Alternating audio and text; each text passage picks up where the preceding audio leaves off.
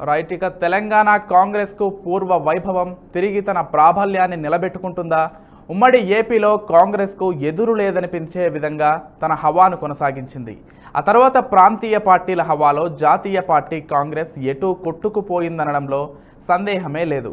మరోవైపు ఉమ్మడి ఏపీ విభజనలో ఆగ్రహానికి గురైన కాంగ్రెస్ ఏపీలో ఇప్పటి వరకు ఆనవాళ్ళు కూడా లేకుండా పోయింది. ఎటు చూసినా కాస్త తెలంగాణలో మాత్రమే కాంగ్రెస్ కొనసా కొన ఊపిరితో ఉండటానికి కారణం మరికొంత తెలంగాణ సెంటిమెంట్ తెలంగాణలో ఎలాగైనా గద్దెనెక్కాలని ప్రయత్నిస్తున్న కాంగ్రెస్ ఇప్పుడు బీజేపీతో పోటీ పడుతోంది. ఇంత జరిగినా ఫలితం దక్కేనా అనే అనుమానాలు కాంగ్రెస్ నేతల్లోనే మరోవైపు వ్యక్తమవుతున్నాయి. ఇక మరోవైపు టీఆర్ఎస్ను గద్దె దించాలనే ప్రయత్నాల్లో అటు బీజేపీ ఇటు కాంగ్రెస్ చేస్తున్న ప్రయత్నాల్లో కాంగ్రెస్ ప్రభావం ఎంతవరకు పనిచేస్తుందనే సందేహాలు పలువురిలో వ్యక్తమవుతున్నాయి. మరో మాటగా చెప్పాలంటే బీజేపీతో సమానంగా అధికారం కోసం పోటీ పడుతున్న కాంగ్రెస్లో తన సహజమైన లక్షణాలు అనువనువున జీర్ణించుకుపోయాయి. అధికారం పెత్తనం పోస్టుల మీద ఉన్న శ్రద్ధ ప్రజా సేవ మీద కాస్త కూడా లేదనే అభిప్రాయాలు పలువురి నుంచి వ్యక్తమవుతున్నాయి. తాజా పరిణామాల ప్రకారం పీసీసీ చీఫ్ రేవంత్ రెడ్డి పెత్తనాన్ని జీర్ణించుకోలేని పెద్దలు బహిరంగంగానే దండయాత్రను ప్రకటించారు.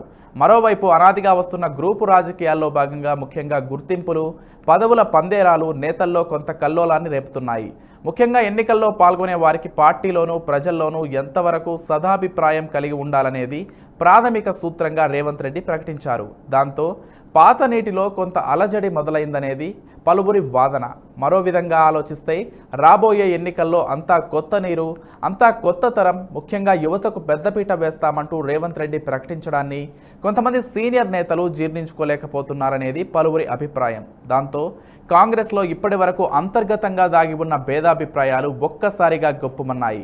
ఇటీవల గాంధీ భవన్లో జరిగిన మీటింగ్కు సీనియర్లు హాజరు కాకుండా డుమ్మా కొట్టడంపై ప్రధానంగా చర్చనీయాంశమైంది. మునుగోడు ఉప ఎన్నికలో అనుసరించాల్సిన విధి విధానాలపై చర్చించాలంటూ ఆ party state incharge Manickam Tagore పిలుపునిచ్చిన సీనియర్లంతా కూడబలుక్కున్నట్లు డుమ్మా కొట్టేశారు. మునుగోడు ఉప ఎన్నిక campaign committee convener Madhu Yashki member MLA Seethakka Komatireddy Venkatreddy Uttam Kumar Reddy CLP నేత బట్టి విక్రమార్క ఎమ్మెల్యేలు జగ్గారెడ్డి షర్కీదర్ బాబు పోదెం వీరయ్య ఎమ్మెల్సీ జీవన్ రెడ్డి సీనియర్ నేత జానారెడ్డిలు సమావేశానికి హాజరు కాలేదు. మరోవైపు కరోనా బూచిని చూపిస్తూ వీళ్ళంతా రేవంత్ రెడ్డి సమావేశాలకు కూడా డుమ్మా కొట్టేశారు. మరోవైపు సెప్టెంబర్ ఏడున రాహుల్ గాంధీ పర్యటన సందర్భంగా నేతలు భారత్ జూడో యాత్ర ప్రారంభం కానున్న నేపథ్యంలో కాంగ్రెస్ నేతల్లో లేని చిరునవ్వు ముఖాలపై బలవంతంగా తెచ్చుకుంటున్నారనేది రాజకీయ వర్గాల అభిప్రాయం. అక్టోబర్ చివరి వారంలో రాష్ట్రంలో రాహుల్ పాదయాత్ర ఉండబోతున్నట్లు అధికారిక సమాచారం. ఈలోపు కాంగ్రెస్ నేతల్లో అంతర్గత కుమ్ములాటలను సమసిపోయేలా చర్యలు తీసుకునేందుకు సీనియర్లను బుజ్జగించే పనిలో పడ్డారు రేవంత్ మాణిక్యం. ఇక ఇదే అంశానికి సంబంధించి మనతో పాటు మాట్లాడడానికి చారకొండ వెంకటేష్ గారు సిద్ధంగా ఉన్నారు. కాంగ్రెస్ అధికార ప్రతినిధి నమస్తే వెంకటేష్ గారు. నమస్కారం ఆ, వెంకటేష్ గారు రాష్ట్రంలో ఇప్పుడు మీతో పాటు బీజేపీ కూడా అంతే సమానంగా రాజకీయాలు నడుపుతోంది. ఇలాంటి క్రమంలో మీరంతా ఒక్కటిగా లేకుండా ఇంకా గ్రూపు రాజకీయాలు నడుపుతున్నారు అనేది చాలా తేటతెల్లంగా అర్థమవుతోంది. అంటే రేవంత్ రెడ్డి మీ పార్టీ అధ్యక్షుడిగా ఉన్నారు. ఆయన మాట చాలామంది సీనియర్లు వినట్లేదు అని చాలా వార్తలు ఈ మధ్య చూస్తూ ఉన్నాం. ఎందుకు ఈ గ్రూప్ రాజకీయాలన్నీ ఇప్పుడు కూడా అంటే ఇలాంటి టైంలో కూడా అవసరమా అనేది కొంతమంది అభిప్రాయం. దానికి సంబంధించి మీరేం చెప్తారు? ముందుగా భారత్ టుడే ప్రేక్షకులకి అదేవిధంగా మీ అందరికీ శుభోదయం. అయితే ముఖ్యంగా మీరు చెప్పినటువంటి అంశం ఏదైతే ఉందో ఆ అంశానికి సంబంధించి ఈరోజు గ్రూప్ తగాదాలు అనేది కాంగ్రెస్ పార్టీ కాదు. ఇది కుటుంబానికి సంబంధించినటువంటి సమస్య.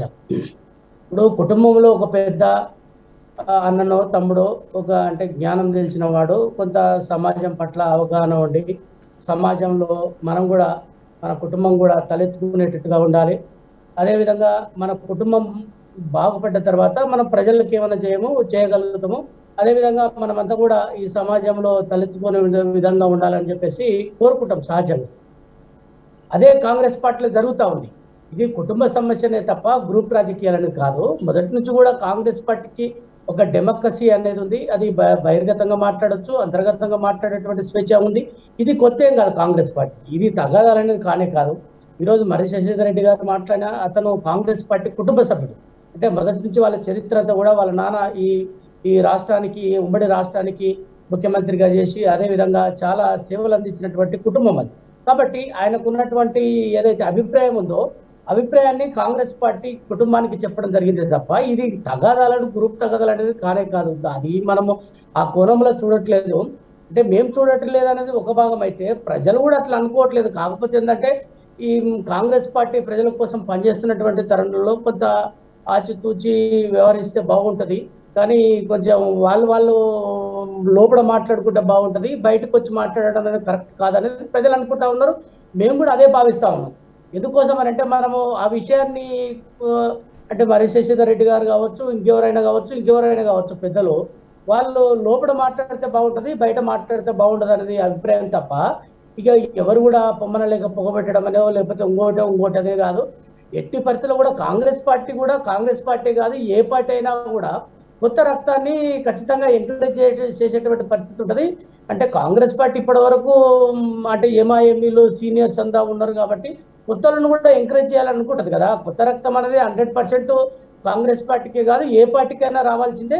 అటువైపుగా ప్రయాణం చేస్తారు రేవంత్ రెడ్డి గారు ఆలోచన కూడా ఏంటంటే ఈరోజు కాంగ్రెస్ పార్టీని రక్షించాలి. అదేవిధంగా కాంగ్రెస్ పార్టీ ఈ దేశానికి చేసినటువంటి సేవ ఈ రాష్ట్రానికి చేసినటువంటి సేవ ఖచ్చితంగా మరోసారి ప్రజల్లోకి తీసుకెళ్ళాలనే ఒక భావన ఉన్నాడే తప్ప వ్యక్తిగతమైనటువంటి ఆలోచన కానీ వ్యక్తిగతమైనటువంటి ప్రయోజనం ఆయనకి ఏమీ లేదు. దాన్ని అర్థం చేసుకోవాలని చెప్పేసి ఈ సందర్భంగా విజ్ఞప్తి చేస్తా ఉన్నాం. ఎస్ వెంకటేష్ గారు కాకపోతే రేవంత్ రెడ్డి కాంగ్రెస్ లేక వస్తా అన్నప్పుడే చాలామంది విమర్శలు చేశారు. అలాంటిది రేవంత్ రెడ్డి వచ్చాక పీసీసీ చీఫ్ పదవి ఇవ్వడం ఇవన్నీ కూడా సీనియర్లు జీర్ణించుకోలేకపోతున్నారు అనేది వాస్తవం. ఎందుకంటే మీ పార్టీలో చాలామంది సీనియర్లు అవుతారు. ఓపెన్గానే చెప్పినటువంటి సందర్భాలు చూసాం ప్రెస్ ముందుకు వచ్చి మీడియా ముందుకు వచ్చి దానికి సంబంధించి ఇకనైనా అలాంటివన్నీ సమసిపోయి ఒక్కటిగా ఉంటారా? లేకపోతే ఇలాంటి రచ్చ మళ్ళీ కొనసాగుతూనే ఉంటుంది అనుకోవాలా డెఫినెట్గా ఏంటంటే రేవంత్ రెడ్డి గారి యొక్క ఆలోచన ఏంటంటే కాంగ్రెస్ పార్టీని ఖచ్చితంగా అధికారంలోకి తీసుకురావాలి ప్రజలకు సేవ చేయాలన్న ఆలోచన అదొక్క ఆలోచనే తప్ప ఇంకా సీనియర్లను ఇబ్బంది పెట్టాలనో లేకపోతే ఏ ఆలోచన లేదు.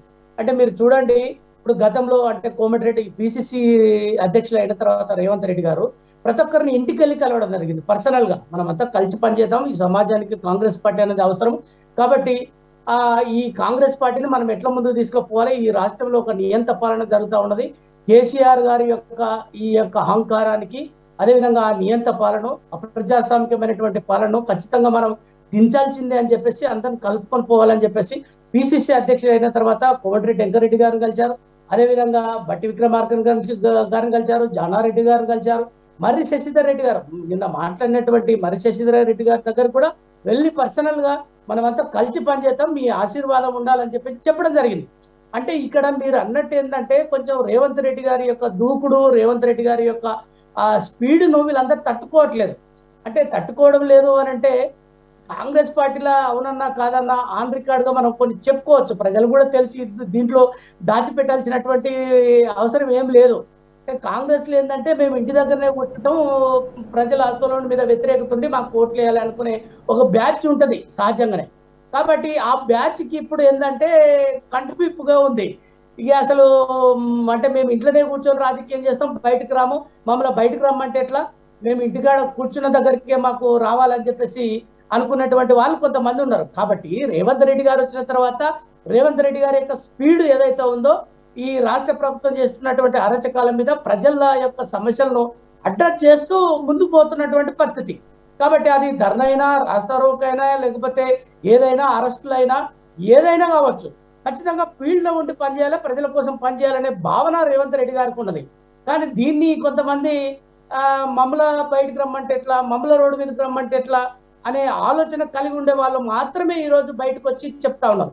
మీరు మీరు అందరు చూడండి చాలా మంది అంటే ఒక్కరిద్దరు తప్ప మిగతా వాళ్ళందరూ కూడా ఈ రోజు ఏంది మేము ఇంటి దగ్గరనే ఉంటాం బయటకు రాము ఎక్కడ కూడా బయటకు వచ్చినటువంటి దాఖలాలు రేవంత్ రెడ్డి గారి కంటే ముందు కూడా తర్వాత రేవంత్ రెడ్డి గారు వచ్చిన తర్వాత కూడా కొంతమంది ఎవరైతే మాట్లాడుతున్నారో వాళ్ళందరూ కూడా ఈరోజు ఇంటి దగ్గర కూర్చొనే రాజకీయాలు చేస్తారు తప్ప బయటకు వచ్చి ఒక ప్రజా సమస్యల మీద గలమెత్తినటువంటి పరిస్థితి కానీ ప్రజా సమస్యల మీద కొట్లాడినటువంటి పరిస్థితి కానీ అరెస్టులు కానీ ఇట్లాంటివి ఏవి కూడా వాళ్ళకు ఆ చరిత్ర లేదు. అంటే పార్టీ టికెట్ తీసుకోవాలి నిలబడాలి ఓడిపోతాం ఓడిపోతాం గెలిస్తే గెలుస్తాం. అంటే ప్రజల యొక్క ఆ ఆలోచన బట్టి నడుచుకునేటువంటి పరిస్థితి లేదు. అప్పుడు గతంలో ఉన్నటువంటి ఒక పది పదిహేను సంవత్సరాల కాంగ్రెస్ వేరు. ఇప్పుడు రేవంత్ రెడ్డి గారు వచ్చిన తర్వాత కాంగ్రెస్ పార్టీ వేరు. కాంగ్రెస్ పార్టీ కోసం పనిచేయాలి ఖచ్చితంగా ఇప్పుడు రాహుల్ గాంధీ గారు కూడా ఇన్స్ట్రక్షన్ అంటే రేవంత్ రెడ్డి గారి యొక్క ఆలోచనే ఇది కాదు. అంటే పార్టీ అధిష్టానం రాహుల్ గాంధీ గారు కానీ సోనియా గాంధీ గారు కానీ వాళ్ళు ఏం చేస్తున్నారంటే పార్టీని ఖచ్చితంగా అధికారంలో తీసుకురావాలి. ప్రజలకు సంక్షేమ పథకాలు అందించాలి. అదేవిధంగా డెవలప్మెంట్ అనేది జరగాలి కాబట్టి ఖచ్చితంగా మీరు అందరూ కూడా ఎవరెవరైతే ఉన్నారో అంటే పెద్ద పెద్ద లీడర్లు సీనియర్ లీడర్ల నుంచి జూనియర్ లీడర్ల వరకు కూడా అందరూ పనిచేయాలని చెప్పేసి చెప్పడం జరుగుతుంది. కాబట్టి కొంతమందికి ఏంటంటే పనిచేయడం ఇష్టం లేక కొంత చేతగాక ఇట్లాంటి ఆరోపణలు చేస్తారు తప్ప ఇదంతా ఏమీ కాదు. ఇప్పుడు మరి శశిధర్ రెడ్డి గారు మాట్లాడినా ఇంకోరు మాట్లాడినా ఇంకోరు మాట్లాడినా కూడా ఏదైనా కూడా ఇది ఒక పెద్ద చర్చగా చూడాల్సిన అవసరం లేదు. కాంగ్రెస్ పార్టీలో చిన్న చిన్న ఇట్లాంటి ఇబ్బందులు అనేటివి సహజంగా వస్తుంటాయి పోతుంటాయి తప్ప దీనికి పెద్దగా ఇబ్బందికరమైనటువంటి వాతావరణం ఏమి ఉండదని చెప్పేసి భావిస్తా ఉన్నాం రైట్ వెంకటేష్ గారు మీ పార్టీ తరపున ఒక క్లారిఫికేషన్ ఇచ్చేందుకు ప్రయత్నించేందుకు థ్యాంక్ యూ సో మచ్.